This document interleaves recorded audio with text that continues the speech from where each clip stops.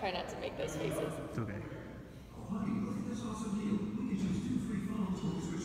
It's okay. Perfect.